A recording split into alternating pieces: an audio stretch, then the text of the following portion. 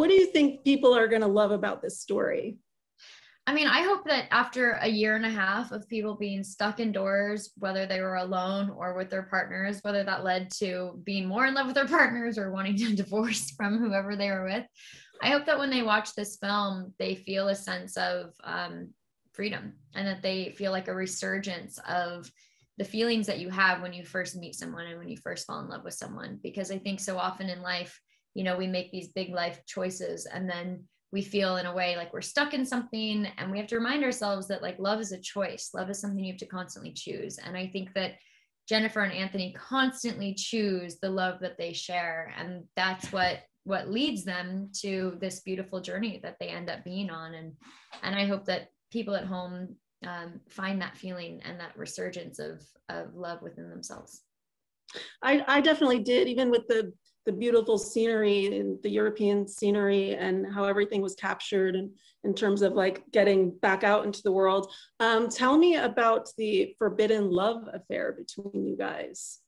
Um, Callum, do you want to take this one? Well, I mean, it's forbidden, but there's something there's something that shouldn't be forbidden about it because uh, I guess that they're they've met their one, and it's just uh, incredibly unfortunate that she's married to someone else. And that becomes then the dilemma for anthony uh, and for jennifer too and how to how to navigate that situation. But uh, if you are able to meet someone that is the yin to your yang or um, makes you feel whole makes you want to feel alive then you're incredibly lucky. And these these two people have that even if it's for a brief moment or for a lifetime. And um, uh, they're equally lucky and unlucky at the same time yeah, I have to say, I was really struck by the train and you were waiting till the very last second to get in and that that pain on your face um, that was um, amazing. Um, uh, the fashion also it was a huge part of this movie. Shailene you wore so many chic outfits um, there's so many wardrobe changes and all of those really pretty chic um, pillbox hats. Tell us about your experience in all of those wardrobe changes.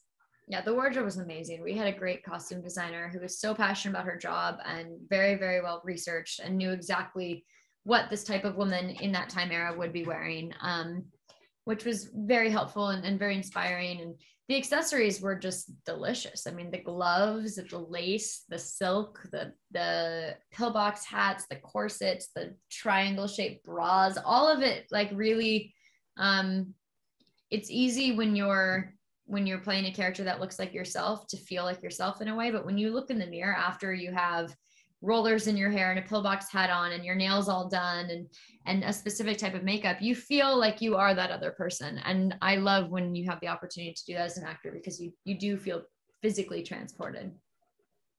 Now um, love letters are such a lost art form but um, some of the other people i've talked to this morning have had their own experiences with love letters. Have have either of you have some cool stories about exchanging love store love letters yeah, I love. I I actually met um, someone that I had a romantic relationship with years and years and years ago via love letters. We were, I guess they weren't handwritten, but they were email letters, and we would send each other these crazy long emails back and forth for six months before we ever met, and and we got to know each other's like inner hearts before we saw like all of the projections and the insecurities on the outside and when you write a letter, I think you're really showing, you're revealing your soul to somebody instead of um, trying to make them think that you are a certain way. And I think there's a there's a specific vulnerability that comes with that that I just I really adore and love.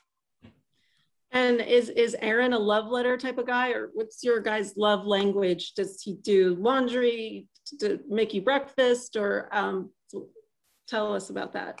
He has I, would say he has all the love languages. He's a he's a really well-rounded guy when it comes to love languages. And i know that you had previously said that um, you haven't watched football. Um, have you brushed up on any of that? And are you excited to watch him play? I'd never seen a football game before i met him. Um, and i have now seen lots of football games on tv but i've never seen one in person because lovely COVID has prevented that from happening. So I do look forward to going to a football match one day. I think it would be fun now that I understand the rules of the game and how it works. Right. And you had mentioned at the beginning of our conversation about um, just being stuck inside, but uh, would you say for your relationship that kind of helped you guys get to know each other a lot better? I think there's something to say about anonymity, anonymity and privacy and having um, your moments be your moments without the whole world trying to question or, or understand what they are, what they mean. And, and that was a true gift for, for us during COVID.